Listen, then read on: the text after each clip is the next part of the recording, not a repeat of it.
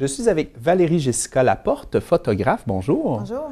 Alors, euh, aujourd'hui, vous êtes venu nous parler, euh, vous êtes en train de faire une exposition. En fait, elle va arriver bientôt. C'est bien ça? Oui, c'est du 14 avril au 26 mai. OK. Puis le vernissage, je pense, c'est le, 18 le jeudi 18 avril. Oui, à 17 h. C'est bon. Puis cette exposition-là a lieu où? Au Centre national d'exposition à Jonquière. OK. Puis le sujet, c'est quoi l'exposition? C'est de la photographie, je comprends. Oui, euh, c'est de la photo abstraite. Euh, il y a une blague qui circule beaucoup sur Facebook, comme quoi les autistes, ils voient l'aiguille avant la botte de foin.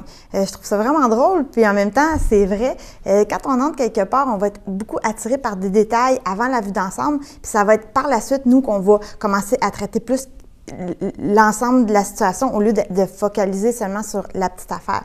Puis, euh, j'ai rendu ça en photo. Euh, j'ai fait un, cours à Sutton euh, il y a quelques temps. Puis, on a abordé le sujet des flashs de perception. Les flashs de perception, c'est quand on, photographie, au lieu de chasser ou d'aller à la recherche d'une image ou de vouloir vraiment aller chercher quelque chose de précis, de le préparer, on va se laisser aller, puis on va regarder par quoi on est attiré dans l'environnement. Puis quand il y a quelque chose qui nous attire, peu importe c'est quoi, que ça a l'air intéressant ou non, on essaie de le rendre exactement comme on l'a vu. C'est un flash de perception. On le prend, on le cueille, puis on le rend. Puis comme moi, c'est vraiment les détails avant la vue d'ensemble, bien, la photo abstraite va me permettre de rendre ces détails-là euh, sur, des images qui sont spéciales. Puis la photo abstraite, souvent la photographie, c'est quelque chose qui est utilisé justement pour prendre des paysages, prendre des personnes, prendre des moments. Donc la photo abstraite, c'est quand même euh, un peu, comment je pourrais dire, inhabituel. Est-ce que ça fait longtemps que tu en fais? Euh, ça fait quand même un certain temps, mais avant, je ne les montrais pas parce que je n'avais pas réalisé qu'il y avait quelque chose de beau à faire avec ça. Puis là, maintenant, ben, j'ai toujours attaché euh, des titres à mes images, mais là, j'ai réalisé l'ampleur que ça prenait euh, quand les titres permettaient de montrer exactement ce que j'ai ressenti en voyant ce que j'ai vu, qui a souvent rien à voir avec l'objet initial du sujet. Donc, on, peut dire que tu as trouvé un peu ton public. Tu t'es rendu compte que tout le monde pouvait trouver intéressant le lien justement entre le titre puis l'image abstraite. Parce qu'au début, tu faisais ça surtout pour toi-même. C'est ça. Bien là, à un moment donné, c'est sûr que j'ai eu des commentaires, puis ça me permet d'expliquer comment je vois les choses. C'est pour ça que mon exposition s'appelle Paradigme de la bulle. C'est vraiment la manière de percevoir les choses depuis ma bulle, si on veut. Parce que euh, tu, en parles quand même ouvertement, tu es autiste, puis euh, tu as l'air très confortable avec ça. Euh, comment tu vis ça? Comment tu en es venu justement à en parler ouvertement? Bien, mon conjoint m'a donné un conseil que j'ai trouvé vraiment bon. Il dit, il dit le problème, il dit quand les gens te rencontrent, ils sont là puis ils cherchent, puis ils essaient de trouver qu'est-ce qui fonctionne pas. Ils ont-tu quelque chose, ils ont-tu fait quelque chose de travail, y a-tu quelque chose qui va pas, puis ils cherchent, puis ils cherchent, puis ils analysent, puis ils essaient de voir. Puis quand ils savent que tu es autiste, ils arrêtent de chercher, puis là, ils sont disponibles à créer des liens, à t'écouter, puis à, tisser quelque chose avec toi, alors que sinon, ils pourraient pas l'être. Donc, simplement nommer les choses, ça enlève énormément de pression. Euh, ça m'enlève la pression d'essayer d'avoir l'air normal puis de dire tout le temps, faut que je contrôle mes mains, faut que je contrôle qu'est-ce que je fais, faut que je contrôle tout ce que je dis parce que sinon je vais faire une gaffe puis là ça va encore mal tourner puis tu sais ça, enlève un gros gros gros stress juste de le nommer.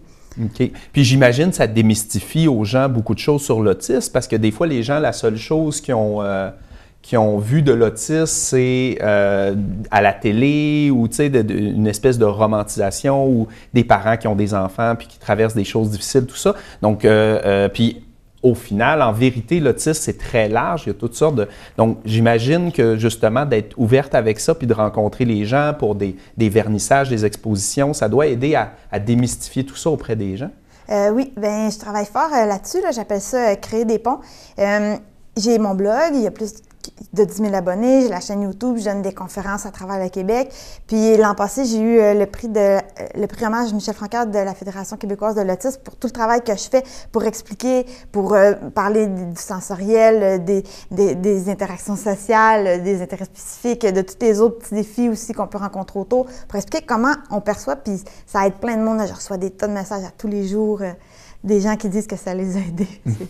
Puis, donc, tu parles que tu as un blog, que tu as une chaîne YouTube. Si on veut euh, ah, te suivre, qu'est-ce qu'on cherche sur, euh, Ça s'appelle Au Royaume d'une Asperger. Euh, sur Facebook, je diffuse mes articles puis plein de choses. C'est là qu'on peut trouver le plus de choses. C'est sûr qu'il y a le site web aussi, Au Royaume d'une Asperger. Il y a la chaîne YouTube. Tout ça s'appelle comme ça. Puis, c'est pas ta première, ta première exposition, je pense. Hein? J'aurais jamais pensé d'exposer comme ça. Ce qui est arrivé, c'est qu'il y a deux ans, j'ai ça m'a tellement aidé. J'ai participé à un talent pas si différent. Euh, c'est la chance qu'on donne à différents artistes qui vivent avec des différences, des handicaps, toutes sortes de choses, de, pouvoir exposer. Puis j'ai été fortement encouragée à participer à ça. J'ai fait une exposition avec des dés. Les dés, c'est mon intérêt spécifique. Là. Je capote sur les dés, j'en ai plus qu'à 500, toutes classées par couleur dans des petites boîtes. Puis j'aime vraiment ça. Puis j'ai fait une belle exposition avec des dés. Puis quand j'ai vu mes neuf grosses photos dans les fenêtres à la bibliothèque de Jonquière, j'ai fait Hé, mais c'est donc bien beau ça. On dirait que je n'avais pas remarqué que c'était beau de même. Puis là, ça m'a donné comme une poussée. Puis après ça, ça m'a permis de faire une autre exposition avec des portraits euh, d'adolescents, euh, d'enfants euh, autistes, que j'ai appelé Lier les mondes d'une couleur à la fois. Puis là, ça va être mon autre exposition là, qui va être euh, la photo abstraite, comment je vois les choses. Bien, des titres vraiment poétiques, puis une belle vision du monde. On te remercie d'être venu en parler, puis on encourage les gens euh, soit à, te suivre, à te découvrir sur les réseaux sociaux ou à venir voir ton exposition qui va être au Centre national d'exposition, on le répète, du 14 avril au 28 mai, puis évidemment, c'est gratuit. Fait que, ben, merci beaucoup d'être venu, euh, Valérie Jessica Laporte. Merci.